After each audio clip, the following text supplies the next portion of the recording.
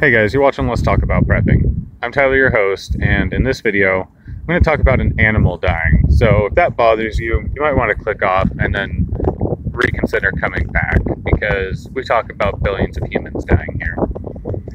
But anyways, no, this is a real bird, uh, not a girl with daddy issues. So I was driving to Living the Dream Homestead the other day, and as I was flying along, doing about 50, uh, I saw a songbird in the middle, in the island between the two lanes.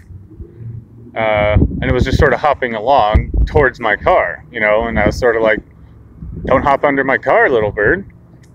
As I got closer, I saw that it actually had a broken wing. It was bent backward in the wrong direction. And that was sad enough.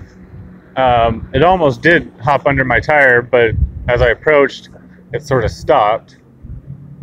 And then a good distance back behind me, there was a pickup truck, and I watched this bird as it hopped, perfectly timed to hop right under the tire of the truck.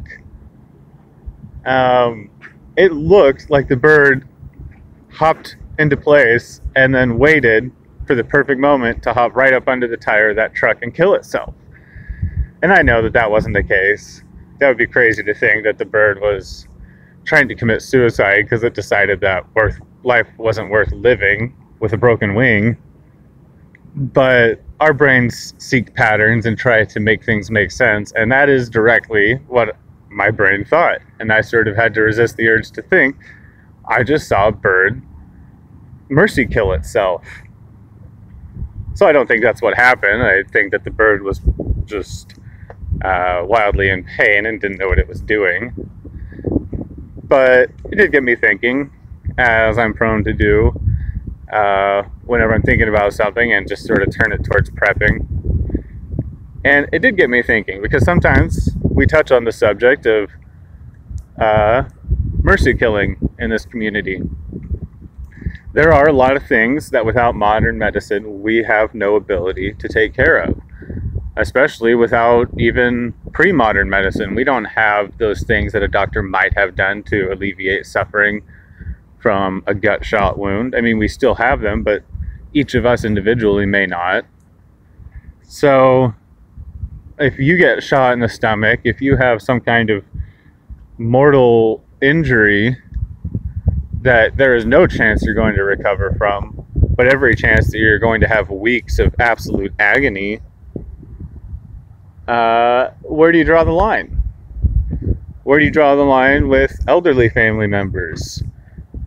Um, it is a hard call to make, and I really don't think it's one that you can truly make until you're in the moment, and it's one that you'll know when the moment comes. Uh, but I'm not just trying to be using shock value here. This is something that we touch on pretty often, and in a lot of situations where you're cut off from having somebody to help you, uh, you do have to ask yourself those kinds of things.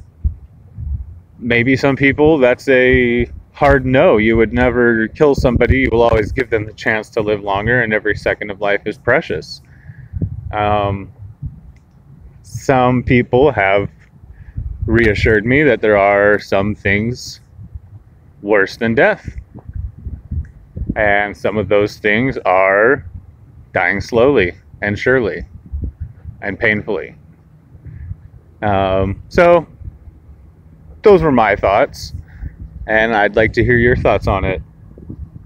Um, let's try to be pretty coherent with it. I don't necessarily think anybody benefits from loose and easy talk, like, oh, of course you just put people down. I'd like to hear a pretty good discussion on, you know, real in the moment, what it would be like, and what you think you would do, where the line is